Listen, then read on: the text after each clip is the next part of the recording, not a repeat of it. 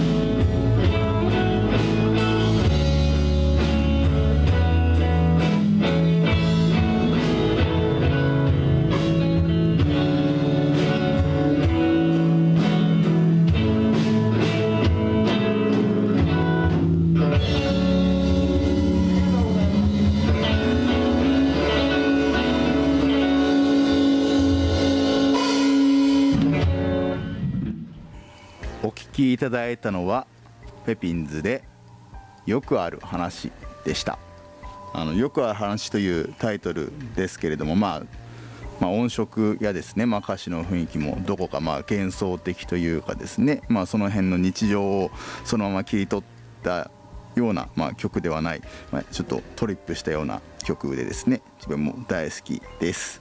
ということで、えー、ちょっとメッセージですね「えー、ハッシュタグ夜ラジイッチリさん」最強とんがりコーンということで自分はあんま詳しくないですけどこれあれですか？なんかあの前転前転する人ですか？このなんかなんなんてですかね？この筋肉あのあれですよね。筋骨隆々な人ですよね。